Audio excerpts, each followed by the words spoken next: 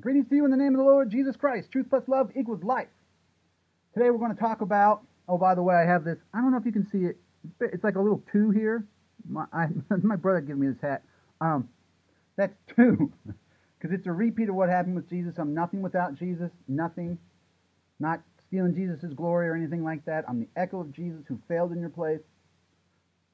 I, yeah, I took on the sins of the body of Christ as a type to prove Jesus is the best and the only cure.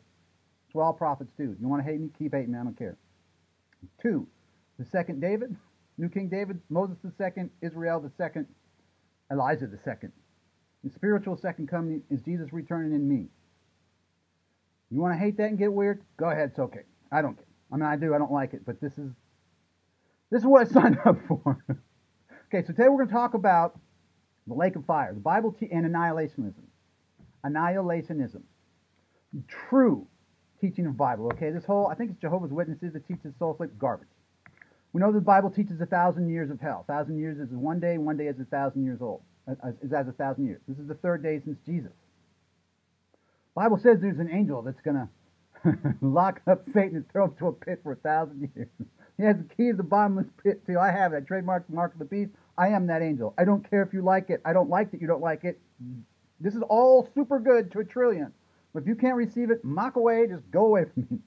So a thousand years, Satan is in hell. And while I'm at it, I'm going to let you in on a little secret. Satan, Cain, and Eve are crucified to a big, giant, petrified turd cross for what they did to Jesus. Paybacks are a bitch! And so is the Trinity. So, but they get to supervise all the people making gold in hell. Now, we know that they're burning up because the parable in the Bible of Lazarus and the rich man says that well, Lazarus didn't have it too good. That's me. But he gets it great forever. Rich man, he had a good thing. Now, there's nothing wrong with being rich per se, but it says he's like, oh, I'm just hurting so bad. If I could just have a little, a drop full of water. Yeah. It's horrible. I don't want anybody on planet Earth to go to hell. Anybody. Unless you're just not going to be a good receiver, which is two thirds of the people. 66.6% of the people are going to hell. I believe in Zechariah. It says two thirds cut off, one third brought to the fire. One third, that's the 144,000 tiny bit, and then the multitude, one third of the world that will hear me in the second half of the Great Tribulation. They get into the kingdom of heaven. So, what happens at the end of a thousand years is uh, Satan, Cain, and Eve, all of the wicked ones, now we're all wicked without Jesus, but the ones who don't repent, who don't own it, who don't seek the truth, who don't receive my authority from Jesus, you don't go through me to get to Jesus, but if you reject me, you don't know Jesus, and that's most Christians, sadly. So the Bible says in Ezekiel, oh gosh, I think it's 29, look it up, says, Ye shall be no more. Now the Bible also says, The worm turneth not, and the fire's not quenched. That's because if you were to, let's say, burn a potato, the potato's burned, it turns to ash. Well, when you keep on burning a pile of ashes, it stays dead. It doesn't not a living death, it's a living death for a thousand years in hell.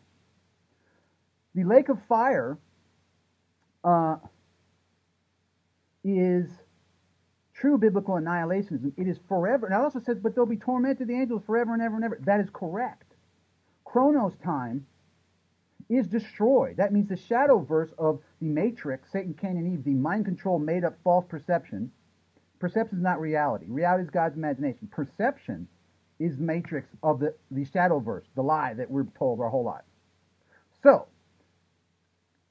eternal suffering is imploded in on itself like a black hole. Like you ever seen that little Pac-Man game? And they go like, and that's so. Imagine eternal suffering closing in on hell. Satan, Cain, and Eve, two thirds of all the people that ever lived. Eternity is imploded in, we're so, all clean, all clear for the eternal happiness after the thousand-year reign of Jesus over me, the man-child. Uh, in the in the eternity, which would be the eighth day, since it's the seventh day from Adam would be the millennial reign, which would be the third day, thousand year from Jesus. In the eternity, we don't need anybody to govern anything because everybody will have their bodies and souls resurrected. So annihilationism is a thousand years of very conscious, indescribable suffering. Folks, if I could just have my head chopped off in public right now, and I knew everybody was going to get into the kingdom of heaven, I'd do it. It'd be the easiest way to spend your life. And let me give you a little tip. I was on the show uh, Wheel of Fortune as a kid. Pat Sajak, Vanna White, a teenager, okay? They had a guy named there named Gary, a, uh, a contestant coordinator, and he said, "Look, folks, he's like, this is me kind of sprucing up. He's like, it ain't Jeopardy, okay, that's me. But he's like, this isn't difficult, okay? Is not really a difficult game. It's fun. That's why we're so successful. He's like, look, buy vowels. It's 250 bucks. Keep the game going. You're ma- nobody else is making money if you're buying vowels. It'll help you. Two, use your free spin. Most people don't use their life as a free spin. They don't ever put themselves out there, take any chances. Use your free spin. Use your life to love the truth. That's the seal of God. Truth plus love equals life. Use your life to love the truth. When the, when the disciples came to Jesus and he took the Ten Commandments and he boiled it all down to two. You want to treat your neighbor as yourself, man to man, logical, ethical. Love the Lord God with all your heart, man to God, spiritual, moral. Now I'm going to boil it down even more simple. What's the great teachings of Jesus? Use your life to love the truth. Jesus said, John 14, 6, I'm the way, the truth, and the life. This is truth plus love equals life. True biblical annihilation. True biblical annihilation, annihilationism. All wicked is imploded on itself like eternity. And ye shall be no more.